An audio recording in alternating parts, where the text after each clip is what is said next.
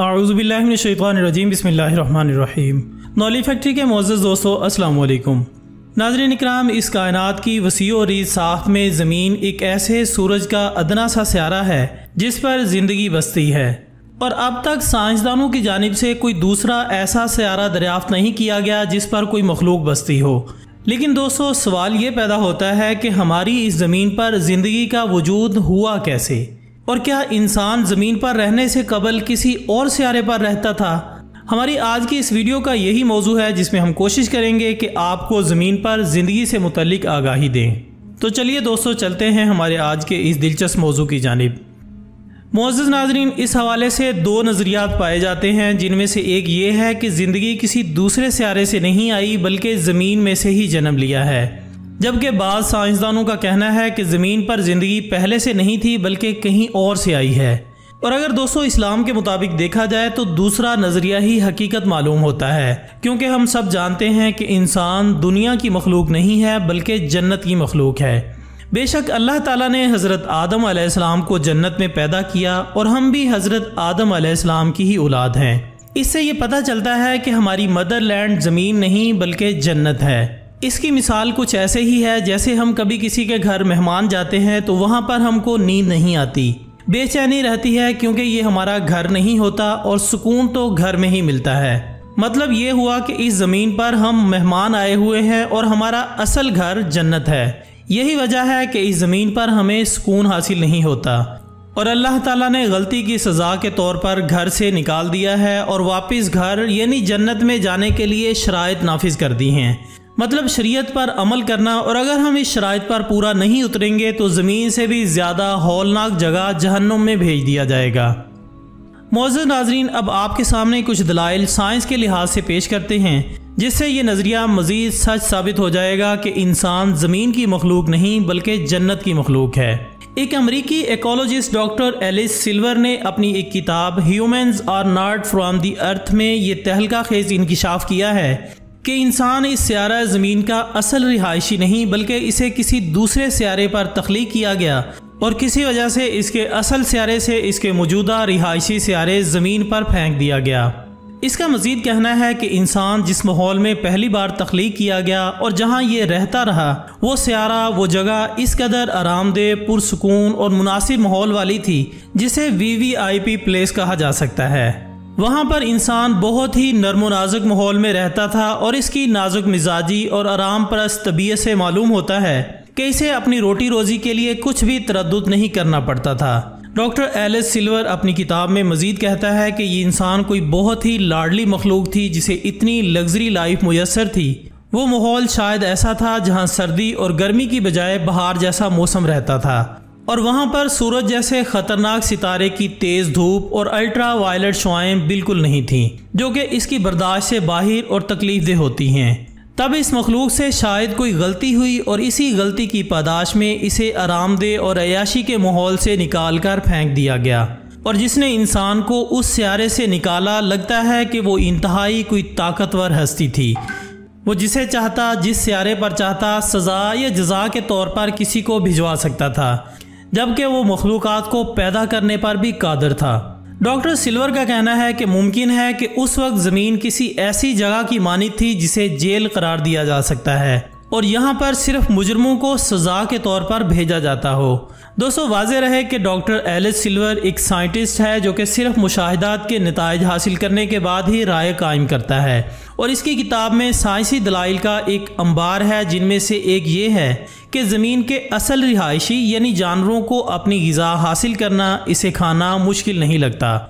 बल्कि वो हर गज़ा डायरेक्ट खाते हैं, जबकि इंसान को अपनी गज़ा के चंद लुकमे हासिल करने के लिए हज़ारों जतन करना पड़ते हैं।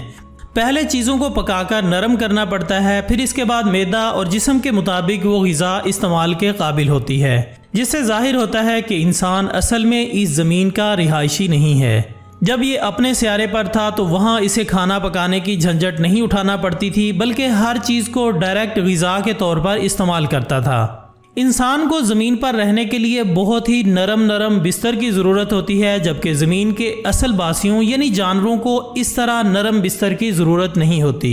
जो कि इस चीज़ की अलामत है कि इंसान के असल स्यारे पर सोने और आराम करने की जगह इंतहाई नरम नाजुक थी, जो कि इसके जिसम की नज़ाकत के मुताबिक थी। इसका कहना है कि इंसान ज़मीन के सब बासियों से बिल्कुल अलग है। लिहाजा ये यहाँ पर किसी भी जानवर की इरतकाई शक्ल नहीं, बल्कि इसे किसी और स्यारे से ज़मीन पर कोई और मखलूक लाकर फेंक गई है। इंसान को जिस असल स्यारे पर तख्लीक किया गया था, वहाँ ज़मीन जैसा गंदा माहौल नहीं था। इसकी नरम नाजुक जेल जो कि ज़मीन के सूरज की धूप में झुलस कर स्याह हो जाती है, इसके पैदाइशी स्यारे के मुताबिक बिल्कुल मुनासिब बनाई गई थी। ये इंसान इतना नाजुक मिजाज था कि ज़मीन पर आने के बाद भी अपनी नाजुक मिजाजी के मुताबिक ही माहौल पैदा करने की कोशिश में लगा रहता है जिस तरह इसे अपने स्यारे पर आरामदेह और पुरतायुश बिस्तर पर सोने की आदत थी, वो ज़मीन पर आने के बाद भी इसके लिए अब भी कोशिश करता है कि ज़्यादा से ज़्यादा आरामदेह ज़िंदगी गुजार सकूँ। जैसे खूबसूरत कीमती और मज़बूत महल्लात, मकानात इसे वहाँ इसके माँ बाप को मैसर थे, वो अब भी इन्हीं जैसे बनाने की कोशिश करता रहता है जबकि बाकी सब जानवर और मखलूक जो कि इस सियारे के असर रिहायशी हैं, वो इन तमाम चीज़ों से बेनियाज हैं। यहाँ ज़मीन की असल मखलूक अकल से आरी और थर्ड क्लास ज़िंदगी की आदि हैं, जिनको ना अच्छा सोचने की तोफीक है, ना अच्छा रहने की और ना ही अमन सुकून से रहने की। इसलिए इंसान भी इन मखलूक को देख देख कर खूनखार हो गया, जबकि इसकी असलियत मोहब्बत फ़नून लतीफ़ा और अमन सुकून की ज़िंदगी थी। ये एक ऐसा कैदी है जिसे सज़ा के तौर पर थर्ड क्लास स्यारे पर भेज दिया गया है ताकि अपनी सज़ा का दुरानिया गुजार कर वापस चला जाए। डॉक्टर एलिस सिल्वर का कहना है कि इंसान की अकलो शूर और तरक्की से अंदाज़ा होता है कि इसके अबाव अजदाद को अपने असल स्यारे से ज़मीन पर आए हुए कुछ ज़्यादा वक्त नहीं गुजरा, बल्कि अभी कुछ हज़ार साल ही गुजरे हैं। इसीलिए ये अभी भी अपनी ज़िंदगी को अपने पुराने स्यारे की तरह लग्जरी बनाने के लिए भरपूर कोशिश कर रहा है। कभी गाड़ियाँ ईजाद करता है, कभी खूबसूरत महल्लात बनाता है और कभी मोबाइल फ़ोन ईजाद करता है। अगर इसे इस ज़मीन पर आए हुए चंद लाख साल भी गुजरे होते तो ये जो ईजादात आज नज़र आ रही हैं, ये हज़ारों साल पहले वजूद में आ चुकी होती। नाजरीन, याद रहे कि डॉक्टर एल एस सिल्वर की किताब में इस हवाले से और भी बहुत कुछ है और सबसे बड़ी बात यह है कि इसके दलाइल को अभी तक कोई भी साइंसदान झूठा साबित नहीं कर सका। इन बातों के बाद साबित होता है कि इस स्यारे पर इंसान असल में मेहमानों की तरह आबाद है। ये बात हम या डॉक्टर एलिस ही नहीं, बल्कि हमारे प्यारे नबी हज़रत मोहम्मद सल्लल्लाहु अलैहि वसल्लम ने भी बेशुमार बार बताई थी। अल्लाह ताला ने अपनी अजीम किताब कुरान मजीद फ़ुरक़ान हमीद में भी बार बार ला तादाद मरतबा यही इरशाद फरमाया है कि ए इंसानों, ये दुनिया की ज़िंदगी तुम्हारी आजमाइश की जगह है, जहाँ से तुमको तुम्हारे अमाल के मुताबिक सज़ा व जजा मिलेगी। मोज़ दोस्तों, इंसान दुनिया की मखलूक नहीं, बल्कि जन्नत की मखलूक है। इस बात की एक और दलील ये भी है कि एक दफ़ा एक साहबी हजूर अक्रम अलैहि वसल्लम की खिदमत में हाजिर हुआ और अर्ज़ किया अस्सलाम या रसूलुल्लाह सल्लल्लाहु अलैहि वसल्लम आप सल्लल्लाहु अलैहि वसल्लम ने सलाम का जवाब ना दिया और मुँह दूसरी तरफ़ कर लिया।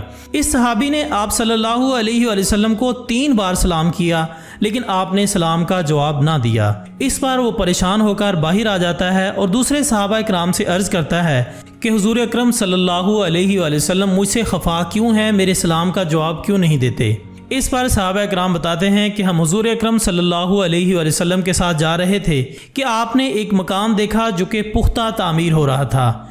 आपने दरियाफ्त किया कि ये मकान किसका तामीर हो रहा है? हमने बताया कि फ़लाँ सहाबी का। तो आप सल्लल्लाहु अलैहि वसल्लम ये सुनकर परेशान हो गए। वो सहाबी उसी वक्त वापस गया और जेर तामीर मकान को गिरा दिया और फिर आप सल्लल्लाहु अलैहि वसल्लम की खिदमत में हाजिर होकर सलाम किया। तो आप सल्लल्लाहु अलैहि वसल्लम ने सलाम का जवाब दिया और ये इरशाद फरमाया, मैं यहाँ से, यानी इस दुनिया से निकलना चाहता हूँ और तुम यहाँ रहना चाहते हो। मोज़ दोस्तों, इस हदीस मुबारक के बाद अब तो किसी शक की गुंजाइश नहीं रही। इसलिए दुनियादारी के साथ साथ जन्नत, यानी अपने असल घर जाने के लिए अल्लाह और इसके रसूल सल्लल्लाहु अलैहि वसल्लम के हुक्म की तामील भी करनी चाहिए। अल्लाह ताला हम सबको आखरत की तैयारी करने की तोफ़ी अता फ़रमाए। आमीन सुम आमीन। इसी दुआ के साथ हमारी आज की इस वीडियो का अख्ताम होता है। हम उम्मीद करते हैं कि आपको ये वीडियो ज़रूर पसंद आई होगी। इन बहुत जल्द दोबारा मुलाकात होगी एक और अच्छी सी वीडियो के साथ। तब तक अपना दोस्तों, रिश्तेदारों और गिरदनवाह के तमाम लोगों का बहुत ख्याल रखिएगा। अल्लाह हाफिज़।